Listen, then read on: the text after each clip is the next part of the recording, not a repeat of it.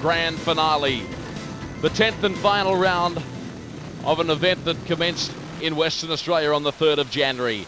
Great field lined up here. Peter Świst from Poland, Steve Johnston beside him, Craig Watson and Thomas Topinka from the Czech Republic. And once again, the Polish rider, Peter Świst his form certainly improving here tonight. He's taken the race lead. That's Stephen Johnston storming up now on the inside of Thomas Topinka. Topinka's having none of it though. He fights back on the inside. And this trio run very close together off the top corner and run back down the main straight of the exhibition ground. Topinka now might have the upper hand on Stephen Johnston, but neither of them can get close to our race leader. Of course, I refer to that man on screen, Peter Świst. He's the leader back down the main straight, and he's a fairly comfortable one too. I reckon he's got a gap of about 10 metres on them. In second spot Topinka. Stephen Johnston is third, trying very hard, and a long way further back and forth is Craig Watson. Now we see Johnston move up with a real rush on Thomas Topinka. He's a never say die rider, Stephen Johnston, and he'll keep trying right down to the checkered flag. Speaking of flag, the yellow one's on display. There's one lap of this circuit to run, the exhibition ground in Brisbane, and it's all Pete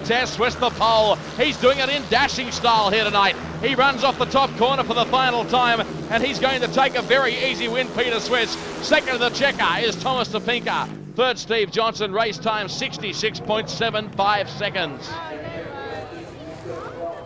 Good ride by the pole.